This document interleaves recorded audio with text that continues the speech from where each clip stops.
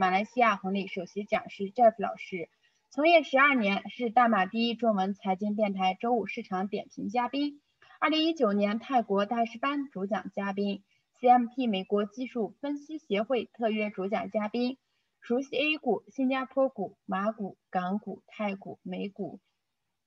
长期致力于市场涨跌本质的研究，熟悉主力及散户投资心理，理论功底深厚，实战经验丰富，尤其擅长呢利用量价时空思维分析方法，精确把握股价涨跌的规律，善于运用图形形态捕捉长线牛股和短线的黑这种黑马暴暴涨的黑马股哈，熟练运用不同的组合分析技巧，从而轻松断定市场未来的方向。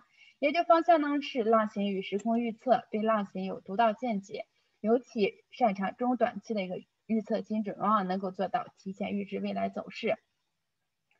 那今天会讲到什么呢？呃，我们知道很多股民哈，在进入股市之后呢，就是会进行各种各样的学习，比如说学习各种理论，像呃量价关系啊，然后像一些筹码啊，像看一些指标啊，看新闻、看报纸。听消息、看业绩、分析公司各种财务数据，那该学的呢都学了，但是股票还是不能持续稳定的赚钱哈。到底是哪里出了问题呢？就是因为缺少了一个关键和核心的因素没有考虑到。为什么现在哈无论怎样都很难赚到钱？不是说没有股票在上，我们会发现每天其实也有在上涨的股票，但是呢很多人总是不敢买，或者呢总怕追高哈。结果呢，错过了一个绝佳的买入赚钱时机。明明是上升趋势，却因为偶尔一天的大跌，害怕再次下跌，从而卖出。卖出之后呢，第二天股票止跌大涨，还创了新高。这个都是因为不了解庄家的操盘手法，以及不知道庄家的伎俩。那在今天的课程中呢，如果说哎你不想再被这个庄家所设陷阱欺骗哈，那就请大家认认真真的听今天的这个课程。今天的主讲内容会包括以下三点：第一个是当前散户盈利的关键就是跟庄；第二个呢是庄家操盘全流程大揭秘；第三个就是庄家那些伎俩你知道多少？那接下来的时间就交给我们今天的主讲老师 Jeff 老师，大家认真听讲。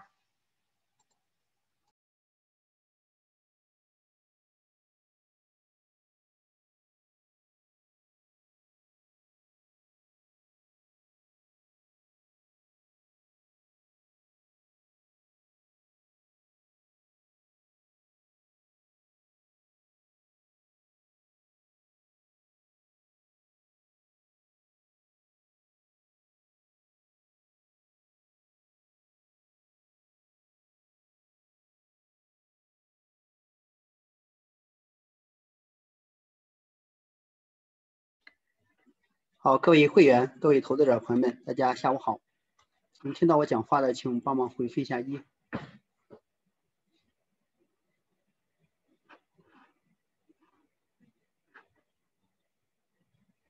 能听到吗？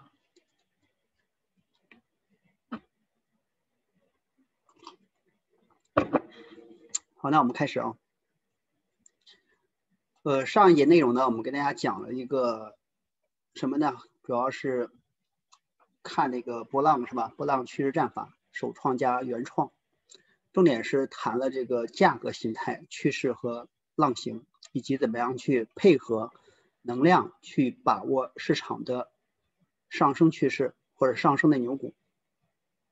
本节课程呢，我们重点的内容是在这个能量值，就是上次我们讲的能量值是吧？没有重点去讲。本一次的话，我们会把这个能量值。放到首位。那么这些课程我们可以连起来去学习一下，你将能够更加深刻的或者叫透视的去理解我们到底在怎么样去操作这个股票。首先免责声明一下，本课程主要的目的在于学习投资分析的方法和技巧，不构成任何的推荐和买卖提示。任何人基于此课程的任何图片、文字以及观点所做出的任何跟投资相关的交易决策。所产生的任何风险和收益与本公司和本人无关，风险自担。呃，三个内容，一个是当前散户盈利的关键，叫跟庄；第二个，庄家操盘全流程大揭秘；第三个，庄家那些伎俩你知多少？你知道多少？然后我们先看一个呃环境啊，根据我们的这个投资理念新大后小的这个情况呢，我们来看一下这个环境。然后今天看到了一个新闻，那这个新闻影响力是很大的。有时候你看到这么一个新闻，你说它跟股票市场有什么关系呢？是吧？如果说你细细想一想，还真有关系啊。你比如说现在这个疫情是吧？你先看这个疫情，疫情数据呢，它有有一点抬头的迹象，看到吗？看到没有？看到有没有有没有一点抬头的迹象啊？因为我们上一个课程给大家看的那个低点低点抬高的情况，是不是即将可能形成一个上升趋势啊？那么之前是低点低点降低，是吧？高点高点降低是一个向上趋势，然后从这个地方开始呢，就不再创新低了，向上趋势结束开始横摆，横摆之后呢，近期你看到它是形成了一种什么呀？上升趋势，所以接下来这个疫情又开始回升的话。那是不是股票市场还会出现更大级别的下跌？是不是？那么这个是美国，这个是全球，是吧？基本上走势是一样的。通过这一点呢，我们去反思，那么这个疫情啊，这个这个病毒到底哪来的？那这个时候呢，就就各种呃那个指责也好，还是甩锅也好，是吧？有的是中国来的，有的是美国来的，有的甚至不知道什么地方来的，对吧？但是我们每个人都要去反思的一个问题就是说，人与环境。是吧？我们看到这个消息以后呢，就是说剑桥的研究，他说忽视气候变化，六十三国评级恐遭调降，什么意思呢？也就是说整个地球它是一个生态系统，是吧？包括什么森林生态系统、海洋生态系统，是吧？大气生态系统。那么这个东西呢，它都是全球性的，一个国家破坏了环境，一个国家破坏了污染了环境，那么其他国家都可能会遭到这个同样的一种什么呀？伤害，所以说为什么要有这个巴黎气候协议呢？是吧？要求更多的人来去保护这个环境，是不是？那这些病毒是不是自然产生的呢？自然当中确实有很多病毒，病毒寄生在哪里呢？寄生在动物啊，或者说植物啊，或者说它在那些呃雨林里边啊，一些原始森林里边啊，是吧？当它这个原始森林被砍伐之后，它没有生活的环境了，它就必须要去找那个寄寄主。是吧？这个时候人类就是遭殃的开始。所以说，为什么我们要去呼吁大家去保护和爱护我们的环境，是吧？那么跟这个疫情有关系。如果再这样破坏下去的话，那么现在这个这种疫情啊，只能说是开始，刚开始，后边还会出现，而且可能会规模更大，后边可能就就这种情况会非常非常严重。啊，我们先假设这个病毒是自然来的啊。然后我们再看下边有一个关于股票的，那你说疫情疫情没有了，那么对于大家的生活、工作以及呢你的那个投资都是有利的，对吧？是不是？好，我们看这个启顺就是五零六六啊，这是一个主主要是造纸的，我们应该都比较熟悉，原原先它叫 NTPM，现在已经改了它的那个名字。最近呢，它的股票有起的不错，是吧？起的还可以。比如说我们看看这个五零六六。哎，是这个吗？哦，是这个，记错了，是五零五六起的不错，他还没怎么起是吧？然后你看他的这个业绩已经报出来了是吧？报的不错的一个业绩。那么这样的业绩以后呢，翻了八点七倍，派息零点八分，那么派的这个钱呢还是不少的是吧？它的价格是多少呢？这个价格是六六分啊，六分不是六分，六毛派八分，相当于十多八仙吧，对不对？难道它不比那个顶级手套派的要多吗？有人说顶级手套派三毛多呀，有时候有时候呢我们要会算账，知道吗？三毛多除以它的五块钱的股价是多少八千啊？你去算一下你的成本啊，然后这个六毛钱分八分跟三块钱分八分，那能一样吗？是不是？所以说我们要会算账。对不对？那你哪个更值得去拿？那你就清楚了嘛，很简单的道理嘛，是不是？但是说他拿这个股息之后呢，他如果说就一直这样跌，他给你跌八分呢，你就相当于没亏没赚，是吧？或者说他除权的时候就直接下来八分，还是下来一毛，是吧？一定是会下来的，对吧？除权不可能除完权还是六毛一，那你就真赚了，是吧？真的是赚现金了，是不是？所以这个是我们一会儿要给大家讲的。你看这个业绩玩股票，你到底是想要拿它的股息，还是你想要赚它的差价，还是两两者你都都想去要，是不是？那么就取决的，那就决定了你你的那个最终的收益，对吗？那如果说你你这个股票你也不管它趋势怎么样，它在这么一种大的熊市当中，它也可能宣宣布派发股息，结果你也去拿了，拿了以后呢，这么三到五年之内，它股价都是调整的，啊，甚至三到五年之内每年就就算分你十八天吧，是吧？结果跌了七十八天，啊，这个五年你你拿到了十八天，结果跌了七十八天，那你说你是赚钱还是亏钱的？自己去算账啊。好了，这是一个开篇，我们给大家谈到了，那么肯定是有关系的。如果大马也包括在里边了，如果马来西亚这边不再保护环境啊，还还用一些石油啊，或者用一些污染性能源呀，还去那个砍伐森林呀，是吧？为什么那个东马那边，呃，前面砍伐森林没有人管是吧？后边有人管了，对不对？他砍伐森林一定是破坏环境的，是不是？那清洁能源，那么拜登提的一些这个新能源计划。它就会非常非常的顺利，为什么呢？因为你看，你你你不去，你说我我们这个国家可以继续使用什么煤炭呀、石油这些污染性的能源，是吧？但是现在有一个有一个什么呀？有一个压力，就说你如果再去污染环境，再去破坏环境，不去忽略这个气候的影响，那么我们就调降你的评级，调降了评级之后呢，其他国家投资也不会来你们国家，是吧？那这有这么一个约束措施。那很多国家可能就要去应用一些新能源，所以因此新能源可能就会在全球范围之内怎么样开始兴起，所以这都是一个长远的计划，是吧？当然可能没那么快，但是你要想想到它后续可能发展的情况是怎样的，是吧？先有这么一个预预告，然后我们来看这个消息，关于 Genting Malaysia 这个股票是吧？我们先看它的走势，走的还是不错的。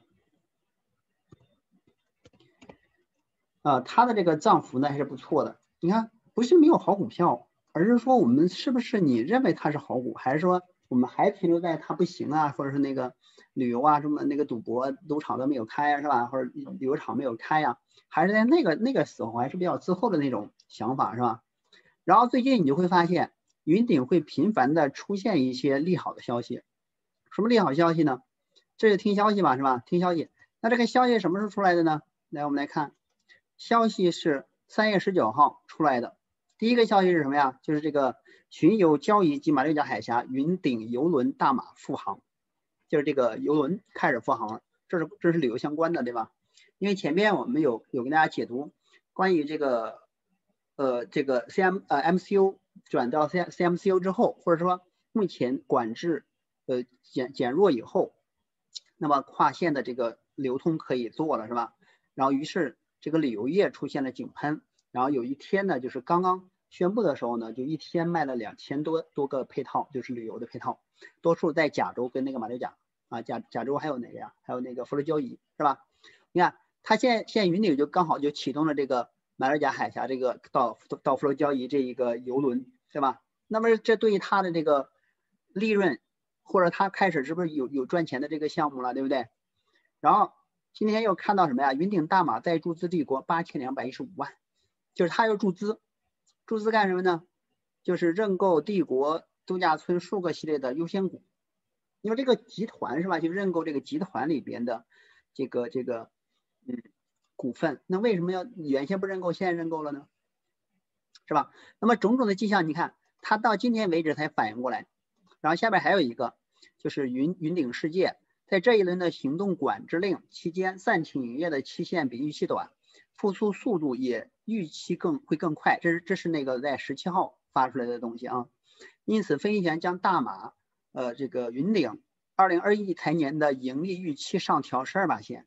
那十七号反应过来，你看这媒体反应是十七号，也就在附近对吧？在附近。然后你来看啊，云顶世界因行动管制。二点零暂停营业近一个月，终于在昨昨日傍晚六点重开，恢复营业的速度比丰隆投行分析员预测要快，是吧？那么有这一系列的，首先是上调它的今年盈利的这个评级，然后其次是有一些配套的一些计划，比如说旅游的计划，还有这个注资的计划，是吧？你发现它这个股票就起来了，之前没有，是吧？之前就是说缺钱，谁愿意投资啊？去去融资，是吧？这样子的。现在你就发现它的旅游业开始跑了，啊，比如云顶高原很快要开了，你可以去云顶赌博了，或者可以去云顶那个那个 shopping 啊，或者说你去那个呃度假呀，是吧？这个时候它的它的盈利就开始了。那云顶高原不就靠赌博跟那个旅游嘛，对不对？然后你看，其实其实这个云顶它什么时候开始起的？其实云顶大马是从二月这个一月二十九号，二零二一年的一月二十九号就启动了。那么媒体到现在才反应过来，是吧？所以如果说我们是看媒体的，你说你是快还是慢啊？你自己去思考这件事情。你到现在才想起来买这个云顶，那你说它后边能涨多久呢？不知道。那你如果说在一月份就已经买了云顶，是不是现在已经赚了？都已经赚了五十多趴了，对不对？所以说在股市当中你。越快得到消息，你你越早买入的，可能怎么样？你赚幅越大，是吧？这就是给那些听消息、看新闻的，一定是慢的。注意啊，听消息跟看新闻一定是滞后的，这个是 yes。如果说你不想滞后呢，你不想那个变成那个后知后觉者呢，听消息、看新闻，这这个就擦掉就可以了，好吧？那实际股价走势呢？如果说你是看图的，稍微懂一点浪形，按照我们按照我们那个上次讲的是一二三四五五浪下跌走完了之后，它就开启了一个上升趋势，是吧？那么这是大一浪、大二浪、大三浪，是吧？你就能看明白。然后按照我们上次给大家谈的，那你简单的按照这个趋势往做，它从这个地方开始，你能反应过来的时候是什么时候呢？你按照这个软件的指标看看图来去反应的时候，你大概在二月四号，二月四号的时候，这个趋势线就变紫色了。是吧？然后你就能反应过来，哦，这是要进牛市了，这是要走三浪走上浪了，是吧？如果说你按照这个趋势波浪的这个战法来讲呢，你就发现这是五浪，是吧？五浪走完了，这个就是起点，起点完了之后，这是趋势的这个反转的确认，是吧？那就算你这个地方没有买到，你到这个地方买行不行？你到这个地方，这是二月二十三号也反应过来了，是不是？那媒体反应过来，以及你听到说什么都起航了，这个这个游艇游轮都起航了。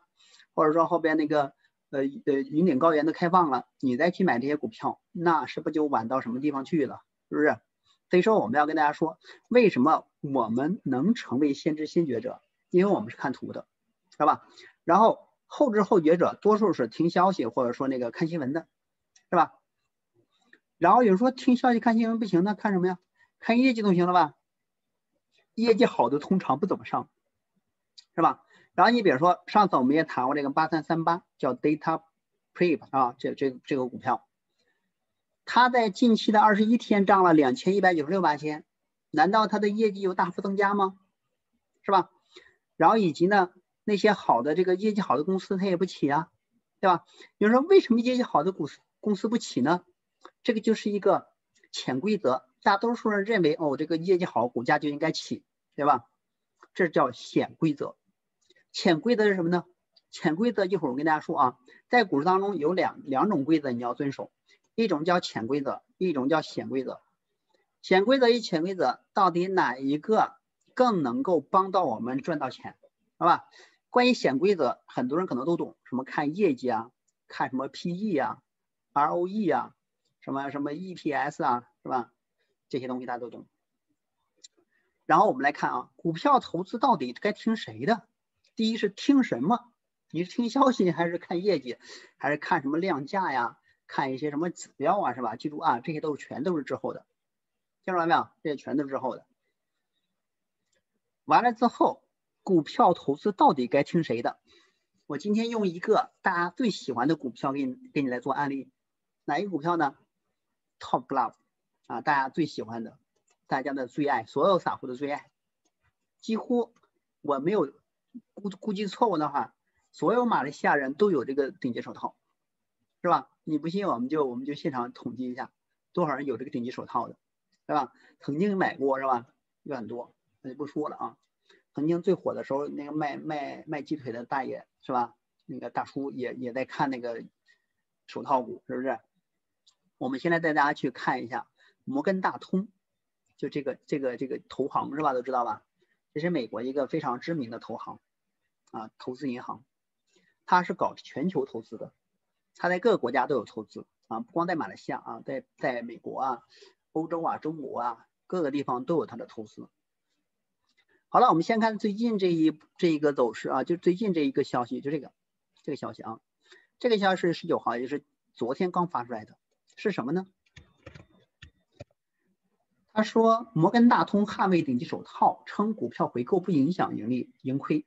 很多人担心什么呀？这个呃林伟才或者说这个老板一直回购股票呢，要冲淡它的什么呀？这个这个价值是吧？减值是吧？有减值这种情况。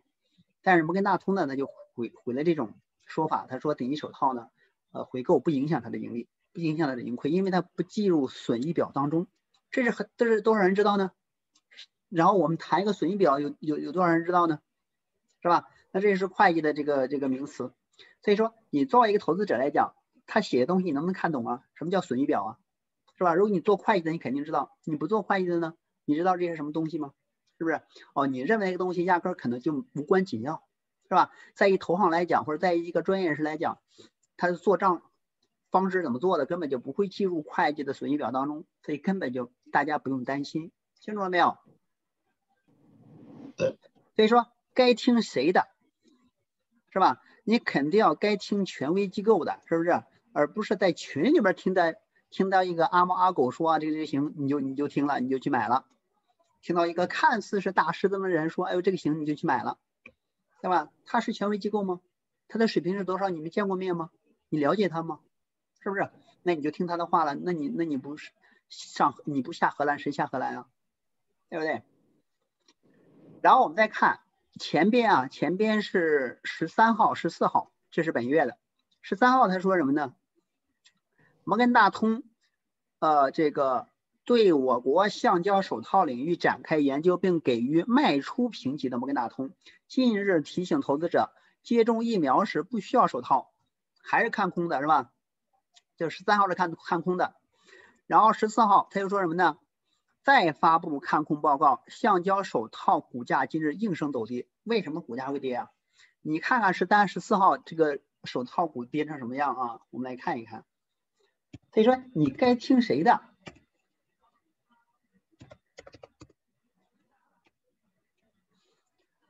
十三十四是哪儿啊？这个应该不是本月啊，是上个月的。上个月十三号是就在暴跌那那一段，差不多就是二月份的十三十四在哪儿啊？在这儿，在这种位置啊，这种位置就是跌的比较多。然后这个以及呢，像它那个十七号、十八号是哪里啊？是差不多这边就是暴跌这一段，是吧？所以来说呢。他一发飙发表这种看空的这种这种这种情况，他就股价就肯定跌，对吧？然后我们还记不记得这个手套股是在什么情况之下变成熊市了呢？就是在本地的股票行一个一个对这个那个 margin 砍 margin，把它砍成熊市了，是吧？还记得吗？还记得的你就回复一下一，我看有多少人还记得那个伤疤呢？有人就。就是好了伤疤就忘了痛了，有有多少人还记得这个伤疤呢？一个一个股票行对那个散户的 margin 开刀，那个时候就把它砍完了，是吧？大家都不记得了啊？回复有点慢呢，回复不了，大多数回复不了吗？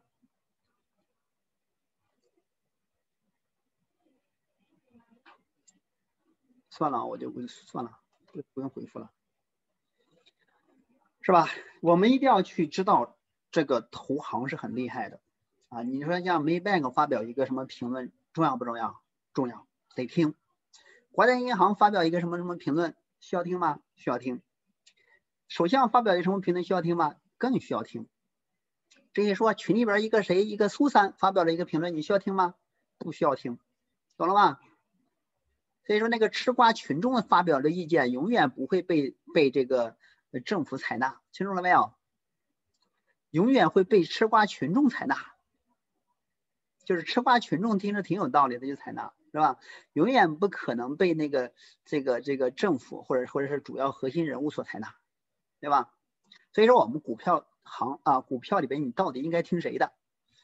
还往群里钻啊？见到一个群就钻，见到一个群就钻，那里边是什么人？你知道吗？对不对？不知道，一堆那个吃瓜群众在里边讨论怎么玩，怎么吃瓜呀，是吧？能瓜能吃的更好啊？只能谈点这个，还能谈什么呀？对不对？所以说你就去进了这么一个群，你知道意味着什么吗？然后这个是去年的十二月十二号，摩根大通首次预测，一旦新冠肺炎疫苗变得触手可及，全球手套市场将出现供供应过剩的情况。该行因此把全球最大手套龙头顶级手套主要的合理价大幅下调三点五个亿级。去年十二月十二号还在什么价格呀？你们看看啊。去年的十二月份价格是，哦，这是二月份了。这是十一月份，然后这是十二月份，十二月十二号大概在这个位置，这个位置发表这个看空的报告以后呢，这个价格是六块多，六块七毛钱，最低跌到五块，啊，最低跌到五块零九，啊，四不是四块七毛四，是吧？这是他的这个预测，到三块五，到三块五，他到底是怎么得出来的呢？我给我给大家的一个评级，呃，一个一个低低位呢，就是四块五附近。它最低跌到四块七毛四就起来了，不是凭空的想象，也不是就随便说个数，它是有参考的。我们是参考了它很多年曾经的历史低位得出来这么一个数字，是吧？那这条线就是 Top Love 大概率的会停留的一个价格。那这个价格是多少呢？这个价格是四块四毛钱。是吧？摩根大通预测的比较悲观一点，它可能会到这个点，这个点就刚好是三块五啊。所以说，首先要到四块四，撑不住往下三块五，听懂了没有？所以说你不会看图，你经常被人忽悠。你会看图吗？不会看图，不会看图。他说三块五你就三块五啊，你三块五等着吧。他到四块四就起来了，是不是？或者跌到两块钱才起，那你那你那你就信了？对不对？所以说机构的话你要听，但是不代表我全信，我得去验证，听懂了没有？他的话非常非常影响非常大，一定要听，对不对？但是他说那个三块五也好，还是多少也好，他他那个到没到那个位置？他首先应该到的是这个什么位置啊？四块四这个位置，到了这个位置才可能见底。那最近呢，最低跌到了四块七毛多，是吧？还有一点距离。庄家还没有进来，就它也可能像之前这样怎么样反弹一下又下去了，是吧？最终到四块多或者说更低才会见底，是吧？所以说就是这么一种，然后你看看它的态度的转变啊，他为什么这次他开始捍卫这个手套呢？你要去思考他为什么说话开始转风向了，是吧？难道是为散户那个那个为散户服务吗？太天真了。记住，投行没有一个是不为自己服务的，知道吧？然后我们来看看它那个真实的股价，真实的股价在这儿呢。我刚才其实给大家看过了啊，我们来看看真实的股价。通常上市公司老板都无法控制自己的股票，林伟才就天天什么买买买的股价起来了吗？因此而翻转了吗？没有。很多人认为老板买股票就是就是就是很好的消息，是吧？老板买股票是为了什么呀？为了是为了为了为了保就保住自己大大股东的身份，听懂了没有？他在乎的不是价格赚不赚钱，而是在乎他是不是还是这公司老板。如果因为发行了更多股份，让别人收购到五十块钱以上股权，他就不是老板了，知道吗？他来回购股份是要保证自己大股东的身份，明白吗？所以这个目的大家不清楚。他也控制不了自己的股票，对吧？如果他能控制得了自己的股票，他一直买买买，他为什么股价起不来呢？是吧？他一他他能控制他的股票，他别人做空他的股票，他为什么他不反击呢？啊，你要去思考这个问题啊，是不是？反而炒家却可以控制一只股票，你看摩根大通就可以，他就可以控制这个顶级手套，他通过舆论把它打下来，或者通过自己实际的那个真枪实弹把它打下来。啊，如果说你不知道这个规则的话，你真的。真的就是啊，这个就是只懂一点浅显的那个规则，或者叫没有社会经验，在社会上混的话，有黑道有白道，还有灰道，是吧？你光知道白道啊，光知道这个就是就是正面去去那个办事情，是吧？有时候是要迂回的战术才可以搞定的，是不是？有时候要找黑道的，清楚了吧？股票也一样，任何行业都有行业的规则，有行业的显规则跟行业的潜规则，是不是？所以说，炒家，刚才那个摩根大通，它就是炒家的一部分啊，它就是一类炒家，听说没有？一类炒家。所以通过这个问题，我们应该听谁的明白了吗？这件事情明白了没有？啊，这件事情明白的话，我们要先搞清楚我们应该做什么，怎么做，听谁的，怎么听，不干，你这些先搞清楚是吧？然后想都没有想明白，就天天去听新闻呀，钻钻群啊，然后看报纸啊，然后找小道消息啊，然后呢，就就是这么去干，想都没想，是吧？你能这么干，别人也能这么干。上周我们给大家讲了，股票是一个零和游戏，凭什么你赚钱呀？是吧？你用 KDJ，他也用 KDJ，你你看那个那个那个什么 PE，他也看 PE，凭什么你赚钱呀？对不对？都用屠龙刀，凭什么你你是那个赢家呀？这个问题我们一定要去深入思考啊！不思考这些问题，你的认知的边界是非常狭窄的。结论。炒家的评论以及操作才是股价起落的根本动力，是吧？第二个，股票投资最应该听权威炒家的，不应该听那个吃瓜群众的，听到没有？第三个，散户想要赚钱只能跟庄，其他任何的手法都只能是辅助和参考。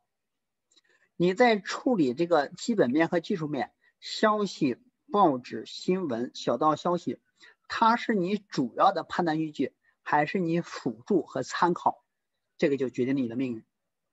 如果说你是以听小道消息、看报纸、听新闻、看业绩、看公司的发展，作为你主要判断炒作股票的这个依据，我保证你不会赚钱，我保证你永远是滞后的。听到没有？昨天听了一个有一个人那个评论手套了是吧？就是手套那个什么情况？他呢，不能说说的不对，只能说太片面，知道吗？哦，手套，就他说那个需求，手套需求不会一下减少的很很多，对吧？这个话确实是对的，但是手套需求增加，股价就会起吗？是吧？这个好像没有本质的关系。然后从去年啊，你说从去年那个集中采购的这个时间已经过去了，是吧？那后边就不需要了，或者不需要再补很多货了，对吧？那现在生产，或者很多人说还排着生产，对呀，货款已经交了，现在是生产，知道吗？是给人家生产货，货款已经交了，已经集中已经收完了，听懂了没有？所以说业绩或者它的业务有所发展，不是它股价能根本启动的什么呀？那个点，是吧？那这个消息出来了，以及它公司发展了。能不能得到社会大多数的炒家、散户、外资的一种认可，来为此而买单？如果说他这个消息出了，有很多有大量的散户、外资和机构在买他的股票，愿意为这个买单，他就能起来。就不是说你公司业绩好，我就要买你的股票啊。公司业绩好的多了去了，为什么要买你的股票啊？是啊，是不是？所以这个就没有根本直接的关系。然后关于吵架，很多人也不知道什么叫吵架。今天呢，我们把吵架定义呢给它清晰化一下，是吧？有时候我也跟庄家，为什么跟着跟着就跟丢了，或者为了跟庄家也不赚钱呢？你跟的是炒家吗？你跟的是庄家吗？你跟的是散户，跟的是那个游资，或者跟的就是一个小道消息？你知道什么叫吵架吗？是吧？所以今天我就跟大家把这个吵架的概念给你们清晰化一下，是吧？你到底应该跟谁？跟错炒，跟的是假炒家，跟的是假庄家，知道吗？有人很多人跟的是假庄家。炒价是一个综合性的概念，它既不是上市公司老板，也不是买来收的股东，而是以推升股价、获取差价为目的的有组织、有计划、有目标的个人或组织。你把这句话记下来啊！什么叫炒价？它的目的是什么呀？是获取差价赚钱。它通过什么方式赚钱呀？推升股价。是吧？赚那个差额，它是乱乱推嘛？是有组织、有计划、有目标的推。它可以是一个个人，也可以是一个组织。那这个个人呢？如果他的资本大到可以控制一个股票的时候，一个人就可以了。如果一个人不可以，它可以是一个组织，是吧？这个组织它可以是一个机构组织，也可以是一个散户组织，是吧？它可以是投行，比如说那个股票行，也可以是公募基金，还可以是私募基金、投资公司、银行、保险、股票行等等，以及其综合体，是吧？这这个全包括在里边。那一个股票好的话，不光一个投资公司，不光一个炒家炒它，可能很多炒家都在这个里边，是不是？云集。那你认识一个有用吗？没用，听到没有？所以我们我们不去问这个炒家到底是谁，是吧？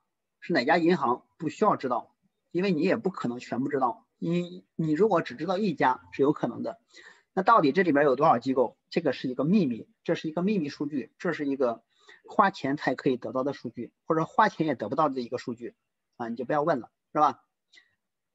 有专业人士领导的散户群也可以是炒家啊，比如说美国那个 WSB 是吧？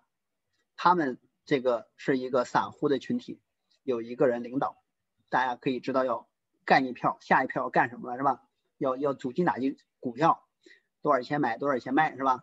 但是你记住，他们的目标通常怎么样？不会是长久的啊，通常干一票跟强盗一样是吧？干一票就跑，下一个是不是？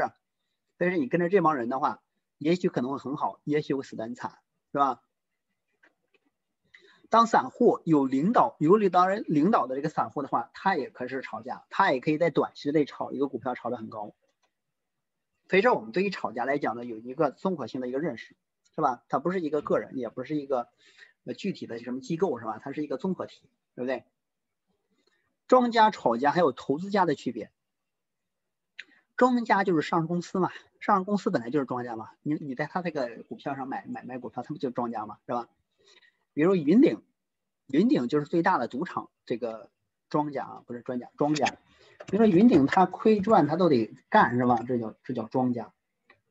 散户亏的可以不干了，是不是？这不叫庄家，他不是常来的。第二个炒家就是联合庄家在赌场做手脚、出老千的厉害赌神，是吧？那个赌场也会请很多。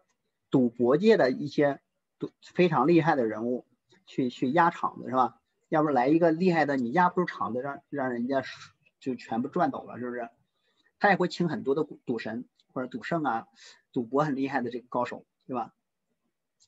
那么炒家他要联合这个庄家才可以出老千，没人管是吧？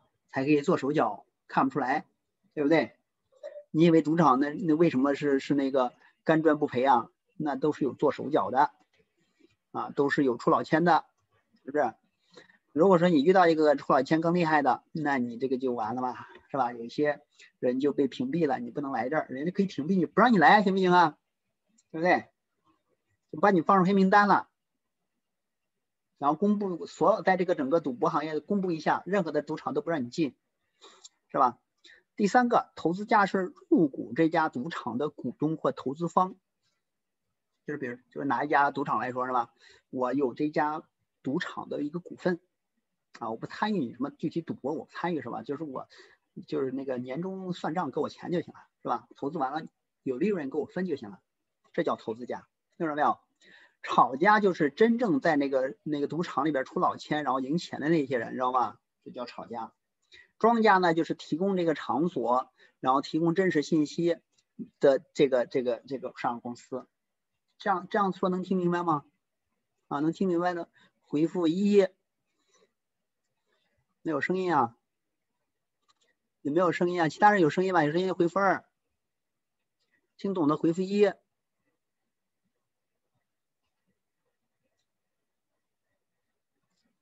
所以这个认知啊，我们前面有说认知的事情，这些认知是不是在你的认知范围以内？如果说你这些认知都都不懂的话，那你赚不了钱很正常，你赚钱少很正常，赚钱慢也很正常，对不对？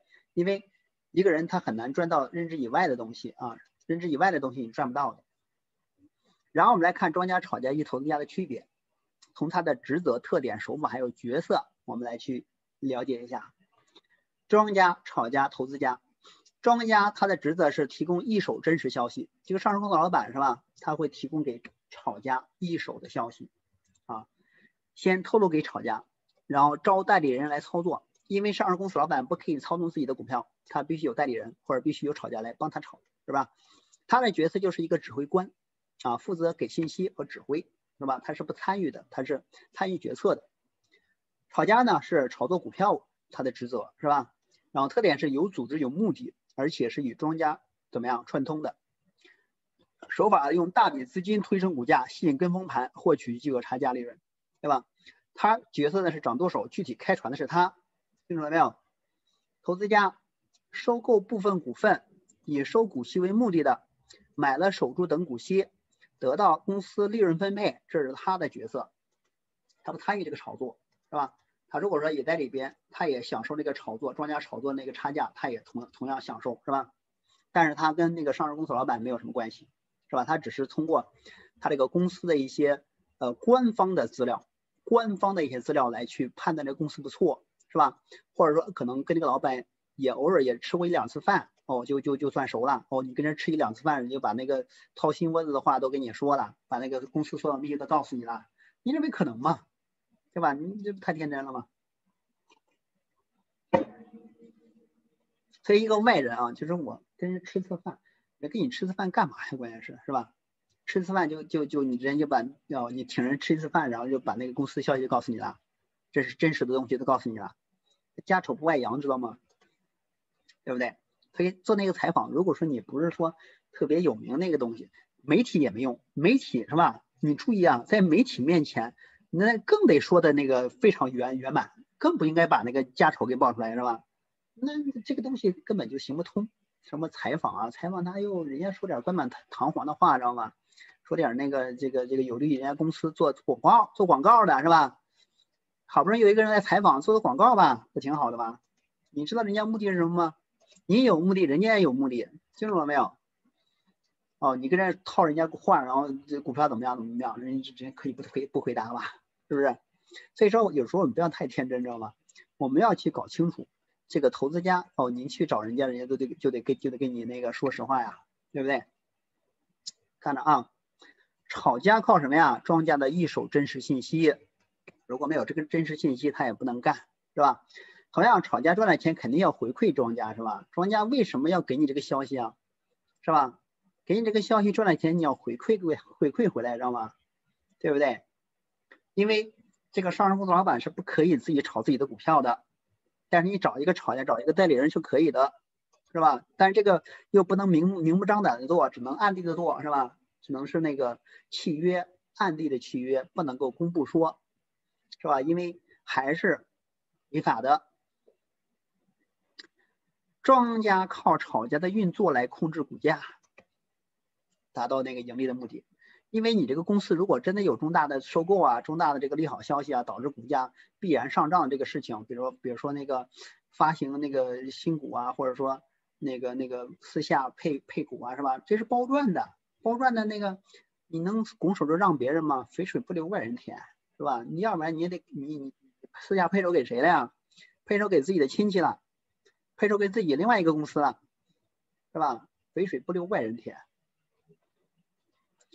投资家研究什么呀？研究的公司，是吧？他就研究这公司，他收购点股份就可以了。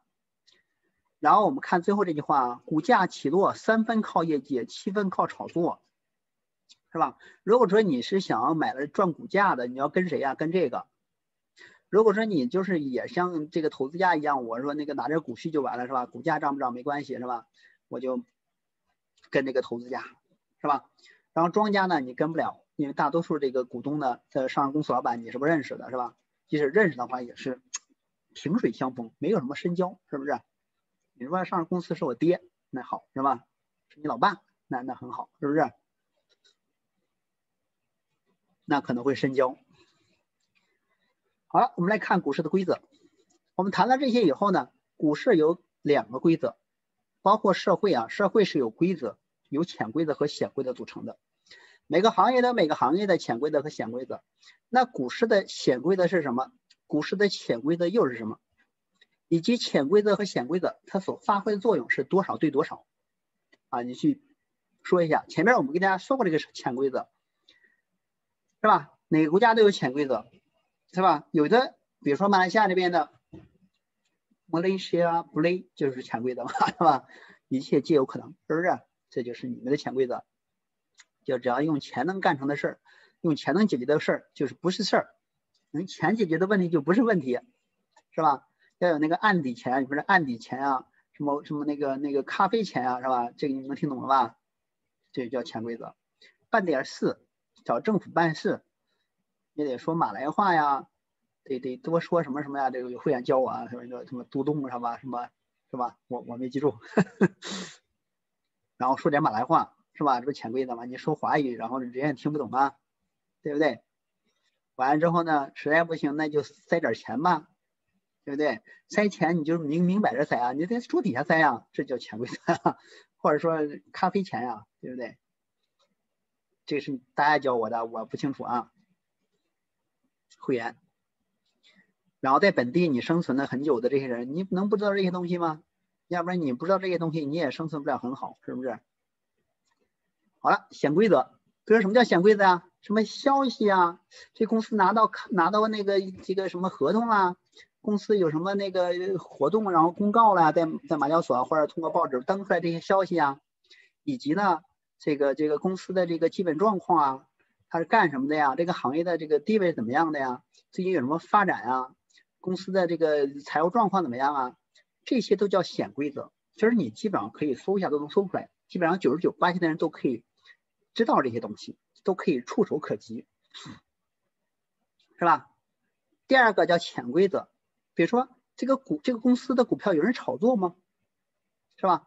然后有没有股权之争啊？那么利益群体都是谁呀？你能不能接触到那个核心利益群体呢？这些东西叫潜规则，就是庄家要炒作了，他会不会告诉你？如果告诉你了，你就可以用到这些潜规则，是吧？然后你是不是这个炒家？那么这一部分的那个、那个、那个情况啊，这一部分的这个消息啊、认知啊，只有一八线的人可以得到，啊，这是认知，这是九十九八仙散户认知范围以外的这个规则，对吧？然后这个是九十九八仙都知道的规则，那你这个时候这个地方呢就挣不了钱，大家都知道，你知道，他知道，我也知道，大家全知道，全天下人都知道，那凭什么你赚钱呀？是吧？还是上上上那个课程说的。都用着屠龙刀，都用着都学着孙子兵法，谁赚谁呀？谁谁胜谁呀？对不对？你你知道，他也知道，所有天下的天下人都知道，凭什么你赚钱呀？就这个问题吗？你得懂点别人不懂的，知道点别人不知道的，你才可能赚的比别人多吗？你用别人看看不懂的，你才可能赚到别人的钱吗？对不对？他这个潜规则是大多数股民。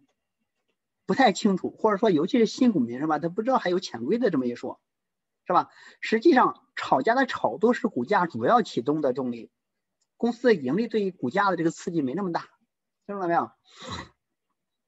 或者说公司盈利了，公司赚钱了，没有人为他买单，炒家不进来，他也涨不了多少，涨一天最多就嘣儿这个烟花一样就结束了，对吧？所以说这些东西引是值得我们去思考的，对吧？然后，如果这些东西你没想明白，你做股票的话，你做不明白，对吧？做着做着就会出问题。炒家与投资家的根本区别，有人老是拿着那个什么什么冷眼说什么了，他说什么有用吗？对吧？他不就是个投资家吗？他就买来时候他也不推升股价，他就是买了几八千股权、一八千股权罢了嘛，对吧？拿点股息嘛。我巴菲特说什么了？巴菲特也就是个股东嘛，他人家是收购公司的，对吧？所以他人家给教你怎么收购公司。怎么看这公司的那个那个现金流啊、运作呀，是吧？各种财务指标啊，那么以及他就预测他用这个财务指标预测他未来这个成长性好，哎，买买买十八线股权，我们要拿他的分红是吧？拿他那个股息。如果说你也是资金很大，可以收购公司的话，你跟着巴菲特那那那一套走没有问题。如果说您就是一个小股民，就是要炒炒股票，不是要收购他的公司，那你就别跟那一套了，知道吧？是不是？第一个，炒家操作股价违法，只能暗线操作，散户不可能接触到。你接触到那些东西，那些人所谓的炒家都是都是伪炒家，都是假的，是吧？真正的炒家不可能你接触到的，甚至他们在操作期间都在这个暗屋子里边，大家的电话都是没收的，是吧？都不允许接触外边的，听懂了吗？我们我们在年前给大家放的什么呀？那个那个大空头啊，或者那些那个什么大时代啊，是吧？那里面确实是这样子，人家找一个跟外界隔绝的这个地方，然后去做盘，对吗？第二个，投资家收购部分股权，合法投资，明线，每个人都知道，就是他甚至还登报纸是吧？甚至还登报纸说他他买了他十八线股权，这叫明线，这个是是一个人都知道，是吧？触手可及。但是说这个暗线，这个炒家要不要炒这个股票，什么时候炒，炒到什么程度跑，你是不知道的，对吧？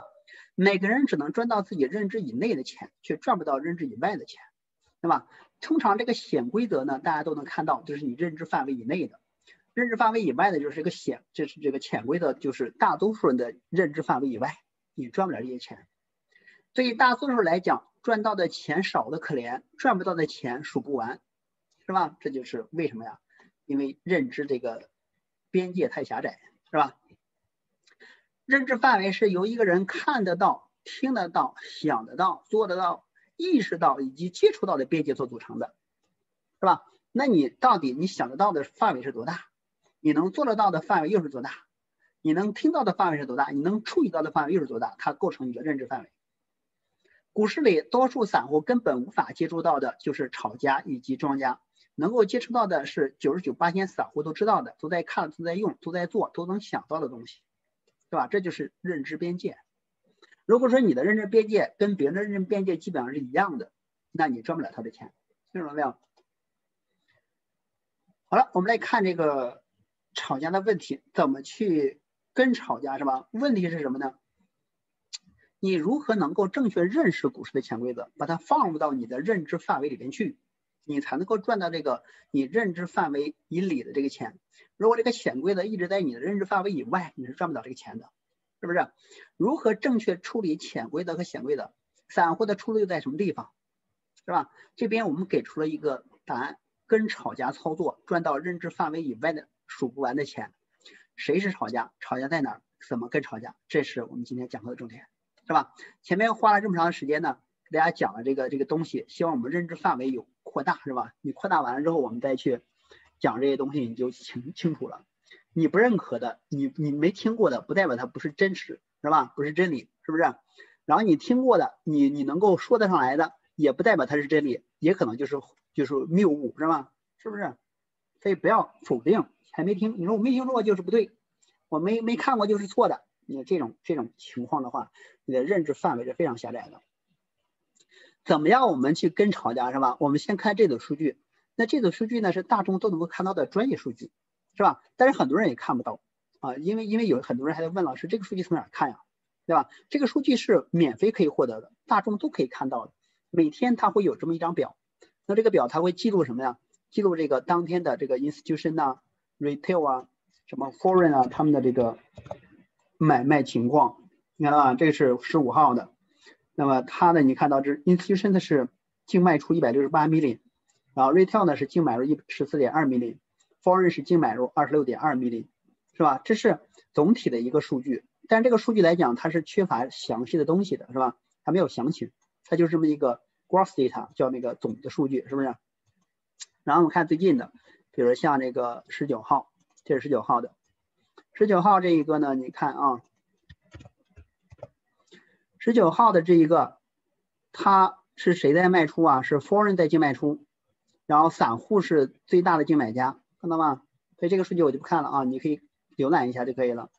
浏览完了之后，你会看到，如果说为什么现在股票比较难赚啊，就是因为散户在这边买买，是吧？这个市场参与的主体决定了这个市场的特点，散户就是投机性强，是不是？然后你再看十八号，十八号在这儿呢。十八号是谁呀？是外呃是机构净卖出，散户和外资净买入，然后散户是最大净买家。然后这个是十六号，十六号是。机构跟外资是净卖出，散户最大净买家。然后十九号、十八、十七号，然后你看到机构是净卖出，散户和外资是净买入，散户是最大的买家，是吧？那么这个是上周的数据，上周的数据就不一样。上周的数据呢，你会看到散户和外资是不断买买买的，机构大多数都是卖出的啊。所以通过这么一个数据呢，我们能够知道每天。呃，为什么股票起不来，是吧？指数要想起，必须外资进来；股票要想起，必须机构进来。如果一直是散户在这玩的话，散户就玩两天就不跟你玩了，玩两天就换换目标了，是吧？你看那个 WSB 就不一样，频繁的换，它不会长长期炒作一只股票，是吧？频繁的换。那我们怎么样去找到更加详细的数据？比如说机构在今天它卖出的，它卖出的什么行业啊？它那个卖什么股票，是吧？它的股票这里边散户、外资和机构比例分别是多少？这个数据就就是什么呀？我们认知边界以外的，就是你没有在你认知范围以内的，所以你是赚不了这部分钱的。只要你把这个认知纳入到你的认知边界里边，那你赚的钱就会非常非常大，听懂没有？那我们提供这个六彩神龙指标，它是一个跟炒家的神器，可以提供指数、行业、个股、专业资金数据，所以它这个它这个作用态会比较大，会比较简单。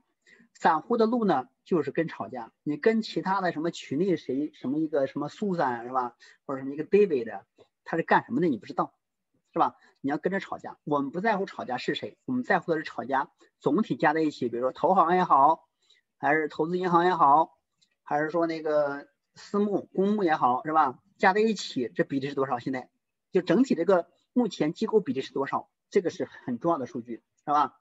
那么其中。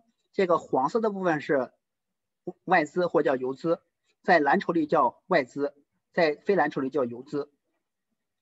然后散户青色的部分，我们可以定义它为散户；红色的部分为这个炒家，不是庄家啊，庄家不可能在这里边，是炒家，炒家，听懂了没有？炒家就是以炒股票为生的，以推升股价、获取巨额暴利的这个为目的的这些人。而且炒家是显性，是显性还是隐性的？是隐性的，是不可能让你知道是谁的，因为这个炒作是违法的，一旦被抓住是要坐牢的，或者是要丢命的，好吧？关于庄家炒作，这个它不是一今今天买明天卖，今天买明天卖，跟散户一样是吧？它是有完整的一个流程，有完整的一个过程。为什么被庄家套上呢？为什么不给庄家洗掉呢？是吧？为什么买了不起呢？都是不太懂这个庄家运作的过程，买在这个庄家拉升的这个末期，然后呢，买在这个反弹的这个阶段，是吧？然后没有砸盘这个阶段出来，在这儿就开始那个一路售票了，是吧？散户就一路买买买买买，是吧？感觉感觉很低了，是吧？所以说得出现砸盘之后，才可能会出现一个新的上升阶段。没有砸盘出现，你千万不能够进去，是吧？进去就出不来了，听懂了没有？然后没有拉升，没有出货，你就坚决不能跑，是吧？中间这种就叫叫整理洗盘，是吧？洗盘一下没有关系的嘛，你就不需要去跑掉，是吧？你跑掉以后你就被洗掉了嘛。然后我们来看这个扣三啊，你看扣三，它这个走势图呢就就非常的清楚哪一个步骤是吧？然后你看这边是出货反弹砸盘。建仓整理拉升洗盘拉升洗盘再拉升出货反弹砸盘，这个砸盘没有结束，你能进场吗？是不是？你进场不就挨套吗？有人在这儿就进场了，或在这儿就进场了，反弹出货这是出货，很多人还在这儿买呢，对吧？你买了也行啊，买了你赚的钱可是跑啊，赚的钱不跑，等着它再翻倍呢。出货的阶段怎么可能翻倍呀？是不是？所以说你这个图你不懂的话，在整理这儿一整理你就跑了是吧？一洗盘又跑了，然后一反弹进来了，然后没打盘没打完的就进去了，那你说它会出现什么情况是吧？然后建仓要跟着砸盘，没有砸盘它就不叫建仓，知道吧？听懂了没有？没有这个反弹就没有砸盘，所以你必须要知道这个前后的顺序是怎么样的，是不是？然后你才能把它做明白嘛。那么怎么样把它精准的识别了呢？到底是在洗盘，还是在拉升，还是在出货，还是在砸盘，还是在建仓，是吧？我们这个六彩神龙指标呢，可以精准的识别庄家操盘的步骤流程。庄家大于二十五这个位置就是庄家建仓了啊，就是就是刚才说那个图里边那个是那个吸筹啊，吸筹也叫建仓。庄家要是啊炒家要是大于五十呢，就是拉升了，大于七十五是再拉升，或者叫快速拉升。炒家开始小过七十五就是开始出货了，然后小过五十呢出货完毕，炒炒家小于零呢开始砸盘啊，砸盘通常从庄家开始消失那个位置开始砸盘，开始快速下跌。我们来看一个案例，你比如这个是哪个？这是真听不真听不哈的，它的情况呢，你看它从什么时候建仓的？那么这边呢是五十，这是二十五，这边是七十五，是吧？然后前边青色大量的存在，所以说股价没怎么起，是吧？就就是下跌趋势。然后从这个地方开始，庄家上二十五了，就这边是二十五，上二十五之后呢，就开始建仓了。然后如果如果说马上上五十的这种情况呢，如果说在第一波的时候，通常它不叫不叫什么拉升，是吧？它这一波拉升就是初步拉升，然后后边整理一下，整理这个阶段的时候呢，通常庄家会减仓。啊，有时候通常会减到五十，甚至还会消失，知道吗？然后后边当整理完了之后，这个往上再起的过程呢，就是真的要开始拉升了。它后边又会回升啊，你看这个庄家又回升上来了，是吧？又上二十五了，上上五十了，上七十五了，是吧？上五十的位置呢，就是开始拉升了；上七十五呢，就是开始快速拉升了，是不是？通常突破前期高点上七十五就是一个快速拉升的开始。然后再看，你比如这个是四五零二，那么这个就是这个是什么呀？来说这个这是什么？这不就是出货吗？这是反弹，这不是砸盘吗？是吧？这个盘没砸完你就进场了，就被砸了，被就就住套房了，知道吗？砸完盘以后才能建仓啊，建仓了整理啊，整理完了就拉升洗盘再拉升啊，是吧？这个过程就很简单啊。比如说你这些不认识，你不认知啊，就是就是上二十五就是建仓吗？哦，它前面都没砸盘的上二十五有用吗？你比如这个位置，它上了二十五了，这是砸盘吗？这是建仓吗？这是出货，知道吧？然后这个上五十，它是它是它是拉升吗？它不是，它是一个第一次首次尝试性的试盘，是吧？然后第二次这个整理完了之后，这个后边再上五十才是拉升，知道吧？所以这对于用软件的时候呢，你需要了解庄家是怎么怎么运作的，它流程是怎么样的，是吧？现在到哪一步了？下一步该怎么走了，是吧？要不然就会在这儿被洗掉了，被洗掉了，被洗掉了，是不是？在下跌的初期就买买买买买就套牢了，被套上了，对不对？所以多数玩不好的就是不懂庄家怎样运作的，是不是？然后然后你看，比如说像散户，我们应该在什么时候满仓跟进呢？就是在庄家上午时。啊，庄家上五十之后呢，代表着庄家已经开始控盘了啊，已经开始拉升了。拉升的过程当中，你看它边拉边震荡，边拉边震荡，是吧？但是我们始终要守住这个五十，它它这个红柱没有少过五十，其实是没有问题的，是吧？不是没有好股票，没有好股票吗？你看它五十六天涨了六十七八天，不是太太大，但是也可以，是吧？你就这种市场还能找到不错的这个股票，看到吗？比如像这个五二七一。你看它之前这是调整了一下，上了七十五，创新高上七十五开始快速拉升，对吧？用了二十六周涨了一百四十三八千，对吧？所以说有些人就会说，老师这价这么高了，又庄这么高了，能买吗？你如果说不懂庄家的流程，那上七十五你还认为它高就卖了，结果卖完之后一直就这样暴起，知道什么意思吧？所以说为什么很多人感觉跟庄跟着跟着就跟丢了，或者说跟着跟着就被洗掉了，或者跟着跟着高了也不敢跟了？那就是不了解这个庄家的流程，是吧？他们操盘的流程，七十五才是快速拉升的开始啊。有时候我们会设计上七十五买入，为什么要设计上七十五买入啊？因为它是快速拉升的开始，尤其它要是跑第三浪突破前期高点的，通常这一段速度会比之前要快很多，知道吗？然后出货，你看它它那个少过七十五就开始出货了，然后呢少过五十出货完毕，变成零，看到吗？这个砸盘是不是从变成零开始的？是不是股价大跌啊？对不对？那那在这儿一反弹你就进场了，在这儿有箱底的进场了是吧？比如说刚开始一砸盘就进进去被被砸死在里边了啊？怎么样去选出来这些股票是吧？这些都已经过去了，那未来会不会有一些庄家要炒作的股票啊？是肯定有的。怎么去选择出来呢？就用这个软件选是吧？软件这个。Up 五十就是第一天上五十来选，选完之后你就点这个 filter 就就一键就选完了是吧？就不用再怎么去那个那个自己选是吧？自己天天一直一直翻，一直一直分析是吧？那你这个时间不是金钱吗？对吧？选完了之后你再去筛选，你看比如说它这个底住的很好是吧？这是五十上五十第一次第二次是吧？目前有一点要拉升的意思是不是？然后你比如这种，它第一次第一次过二十五就是建仓了，然后整理一下，整理完了之后呢？就起来了是吧？起来之后，目前刚刚上呃五十七十五也过去了是吧？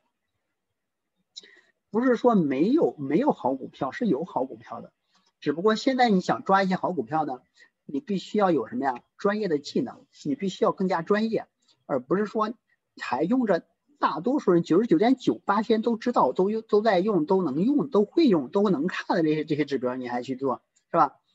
你你要更加精准的去操作，更加精准的去选股，然后以及的看别人看不了的东西、不会的东西，在他们认知范围以外的东西，你才能赚到他们的钱。是吧？你不可能赚到庄家的钱，你也不可能赚到那个上市公司的钱，你只能赚啊，比比比你还要新的那些股民的钱，是吧？或者比你速度还慢的，比你这个反应还慢的那些人，你可能赚他的钱，是吧？或者说你你用的是别人用不了的、不会用的、学不会那些东西，又是很好用的东西，那你你赚他你赚他的钱，是吧？或者别人都看免费的。啊，免费的报纸，免费的那个 tips，免费的软件，啊，免费的什么都是免费的，免费的就说明跟公交车一样，所有人都能上，是吧？然后呢，那个所有人都能看到，那凭什么你赚钱啊？你先看到的，你先看到的，你就应该你赚钱，是不是？你应该用别人用不了的、不会用的、花钱才能用的，你才可能会成为这个什么呀？散户里边的赢家。听说了没有？要不然的话就是普通散户的命运，是不是？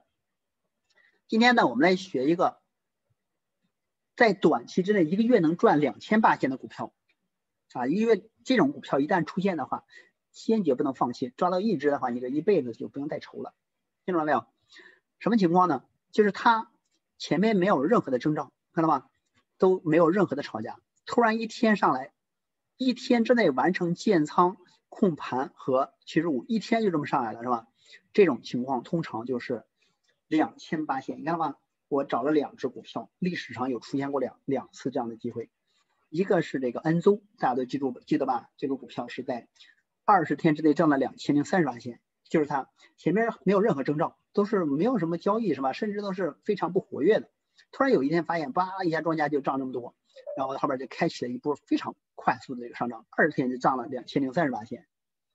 这个呢，最近是这个 Data Pre 的啊，也是一样的，前面没有任何的征兆，突然啪一下就涨这么高，是吧？所以说一旦出现这种征兆的话，至少两千八千，听懂了没有？就是一天之内完成建仓的。就是他来不及建仓的，一天就把他那个仓位一下升级到一下仓位增加到七十五甚至更高，说明这个消息来的比较快，是吧？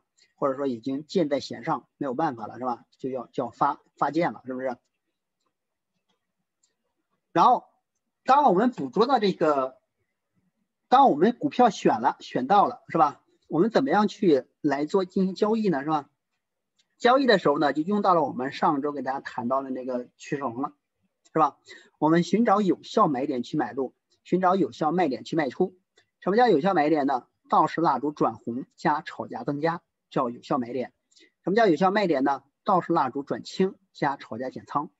比如这个位置，你看这个是炒价增仓，这是道氏蜡烛翻红，这就是一个有效的买点。买了之后收收收收到什么地方？收到倒入蜡烛翻青，然后下面厂家减仓，这就是一个有效的卖点，听懂了吧？然后你比如这个地方。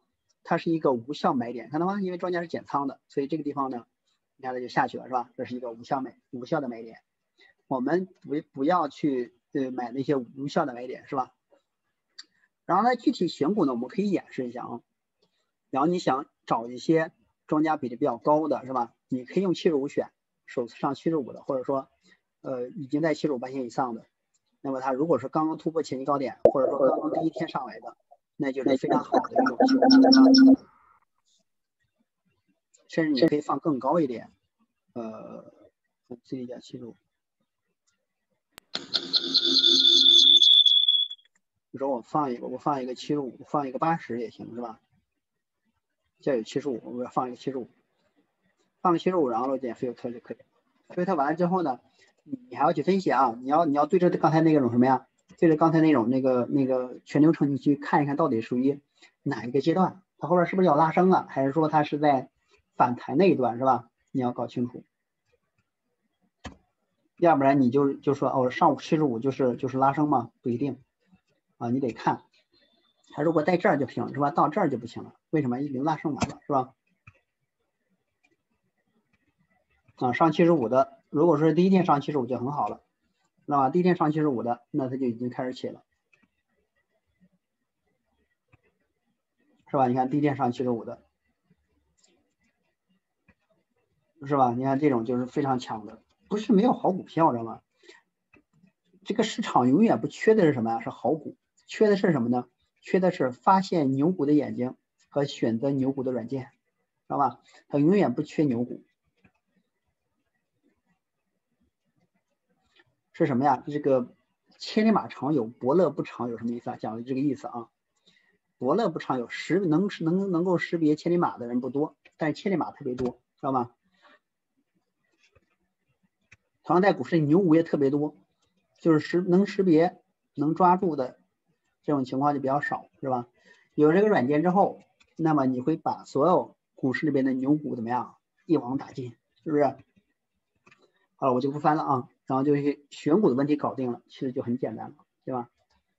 你看这个是，这是我们一个会员用了不到一个月吧，赚了六千多，但他投的比较少啊，是吧？你比如这这种就是用了什么方法？这个浪形，这是上次讲的，是吧？然后还有用这个那个趋那个六彩绳七十五选选选股票选出来的啊，赚了很多的是吧？也有看到了吧，就用 MCD 七十五选了五一五一，两天赚了八点六。啊，虽然不是特别多吧，对吧？但在目前这种市场当中怎么样，也还是可以的，是吧？就不赚钱，你赚钱那叫厉害；都赚钱，你赚的快，赚的多，那叫你厉害，是不是？好吧，今天我们就把庄家这个事情呢给大家搞清楚了。这个路已经给你指明了，走不走是自己的选择，是不是？你愿意继续走弯路，愿意继续用免费的，用别人都会的，你去对付别人，是吧？那你看你能不能？比他要快，比他聪明哦，你只能比他聪明才可以，是不是？要不然的话就没什么好比的，对不对？好吧，今天的时间呢，差不多也就是这些，希望能给我们一点帮助，是吧？然后对于这个刚才我们说的一个认知的问题，你要不断的去拓展你的认知，尤其是你接触不到的，你没听过的，是吧？要学什么东西呢？这东西你都听过了，你来你需要学它吗？不需要学，是吧？没听过的你才需要学，你而且你需要花钱学。什么值得我们花钱去学的？你不知道的，你的认知边界以外的东西，你可以去花钱去把它拉到你的认知边界里面来。你你的认知边界扩大了，你的你你都能赚到更多的钱，是不是？对于这个软件，以对于刚才庄家这个认知呢，有些人会是先知先觉着，他说软件很好，别人用它能赚钱，我也行，买一个来赚钱，是吧？后知后觉者呢，就是等我赚了钱再买软件，是吧？你能赚钱了就不需不需要买软件了，是吧？先解决赚钱的本领的问题，没有赚钱的本领怎么赚钱呢？是吧？不知不觉者呢，他就会在怀疑，真的可以吗？我验证验证啊，验证吧，是吧？有人验证了好几年，结果错过了很好几轮牛市。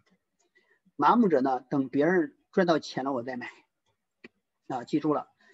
如果马云当年那么说的话，等别人把电商都做的赚钱了，我再做电商，还有他今天吗？还有今天的马云吗？对不对？你会等着这个机会别人拿抓到了都做成了，你再去再去做，是吧？机会是不等人的啊，机会也是不挑人的，只是你挑不挑机会，你你上不上，你你能不能抓住，是你自己说了算的，是吧？机会就是少数人看到并抓住它，而不是等别人都已经做成了、获利了，你才要来做，是吧？就已经晚的不知道什么地方去了，好吧？那么用一些免费的工具当参考，是吧？如果说你真的想什么呀，比别人有优势，那么这个红利软件是非常好的一个选择。你加入这个会员，你你你花钱去买这个工具，跟你在外面免费的工具绝对不一样。免费的大家都能看，是吧？这个收费的。是少数人能看的，还能保证我们能够赚到别人的钱，好吧？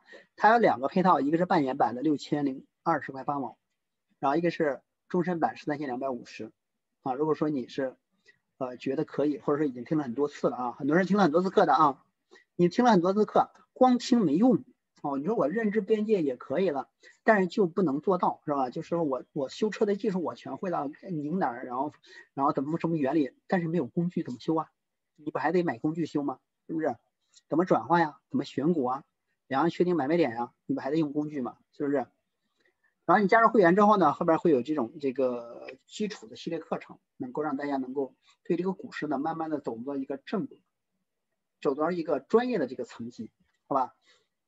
今天因为时间关系呢，我我就给大家分享这么多，希望我们每个人呢都能够跟着庄家怎么样，那个赚翻天，好吧？谢谢大家。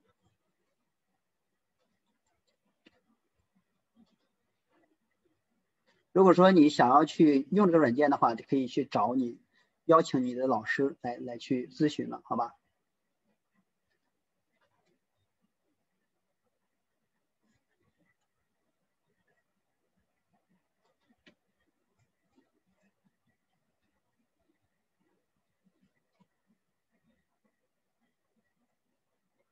啊，如果有什么疑问的话，啊，还有什么疑问的话，可以去问邀请你听课的老师就可以了。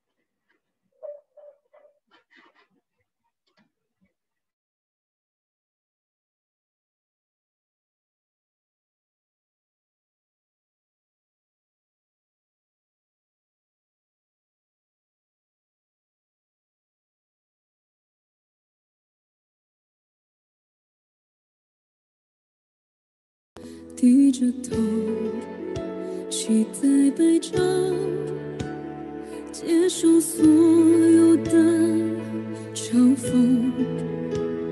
迎着风，拥抱彩虹，